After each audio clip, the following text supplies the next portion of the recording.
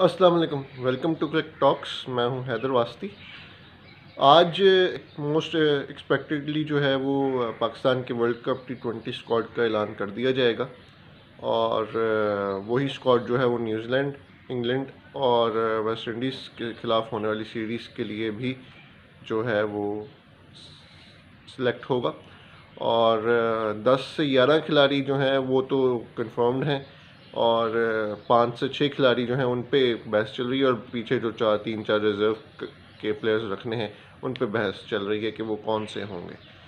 तो सबसे पहले तो जो 10 से 11 खिलाड़ी हैं, उनमें सबसे पहले ज़ाहरी बात है, बाबर आज़म है, मोहम्मद रिजवान है, उसके अलावा हसन अली, शहदाब और फ़हीम अशरफ, पाँच खिलाड़ी ये हो गए।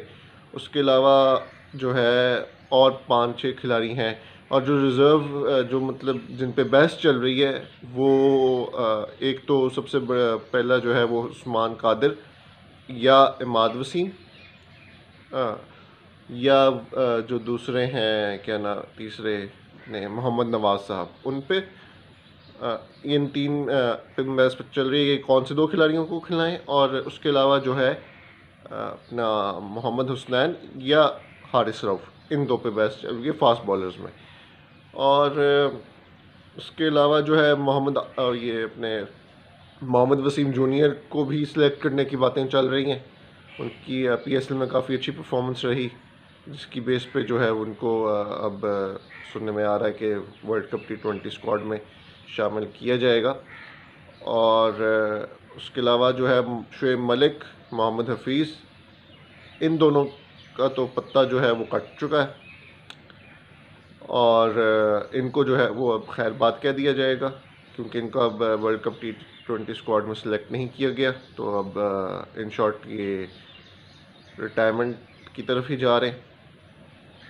और उसके अलावा जो है वो आज़म ख़ान की बातें आ रही हैं कि उन्हें जो है वो स्क्वाड में रखा जाएगा एज अ रिज़र्व प्लेयर कि अगर किसी की तबीयत वगैरह ख़राब होती है या कोई इंजरी होती है तो आज़म ख़ान साहब जो है, उनको अंदर ले आया जो पंद्रह खिलाड़ी हैं, उनमें शामिल कर लिया जाए। और उसके अलावा जो है सुहेब मकसूद को भी सिलेक्ट करने की बातें चल रही हैं, क्योंकि और सुनने में आ रहा है कि जी उनकी मुलाकात भी हुई है कल परसों रमीज़ वाजा साहब से। तो होपफुली जो है वो सुहेब मकसूद साहब को भी शायद स्क्वाड में शामिल किया जाए। और उसके अलावा जो है कल, न्यूजीलैंड और बांग्लादेश का जो तीसरा टी ट्वेंटी हुआ, उसमें बांग्लादेश ने फाइन अपना, न्यूजीलैंड ने फाइनली जो है वो कम किया और बस ज़बरदस्त कम था। और बांग्लादेश अपने ही बिछाए हुए चाल में, जाल में जो है वो खुद ही फंस गया। अक्सर पटेल जो है अक्षर पटेल, उसने भाई साहब ने जो है वो बड़ा ज़बरद, बड़ी ज़बरदस्त बॉलिंग की। सोलह खिला सोलह खिलाड़ी कह रहा हूँ, सोलह रन दे के चार खिलाड़ी आउट किए चार ओवरों के कोटे में। और स्पिनर्स ने जो है वो सात खिलाड़ी आउट किए न्यूजीलैंड की तरफ़ से और इकतीस रन दिए आठ ओवरों में। और उसके अलावा जो है sixty two for five New Zealand हो चुका था।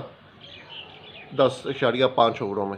फिर एक पार्टनरशिप लगी। पार्टनरशिप जो है, वो बड़ी ज़बरदस्त लगी। वो मैच विनिंग पार्टनरशिप ज़ाहिर साबित हुई। सिक्सटी सिक्स रन की वो पार्टनरशिप थी। और एक सौ अट्ठाईस रन न्यूजीलैंड की टीम ने स्कोर स्कोर बोर्ड पे लगाए। और एक सौ उनतीस के टारगेट के जवाब में सेवेंटी सिक्स कर पाई बांग्लादेश की टीम और सेवेंटी सिक्स ऑल आउट होगी nineteen point four four overs में। और, मैं अक्षय पटेल जो है वो मैन ऑफ़ द मैच रहे। उनकी बॉलिंग परफॉर्मेंस की वजह से मैच विनिंग बॉलिंग परफॉर्मेंस थी उनकी 16 पे चार खिलाड़ी को आउट किया और चार ओवर्स कराए। तो ज़ाहिर है man of the match award तो बनते ही। तो चलें, आज जो है वो के साथ ही, आज इसके साथ ही जो है वो वीडियो आज की ख़त्म करते हैं। कल इंशाल्लाह आपसे फिर मुलाकात होगी। वर्ल्ड कप स्क्वाड तब तक अनाउंस हो चुका होगा। तो कल इंशाल्लाह आपसे फिर मुलाकात होगी। तब तक के लिए अल्लाह हाफिज़। अपना ख़ास ख्याल रखिएगा। इस चैनल का भी। पाकिस्तान जिंदाबाद।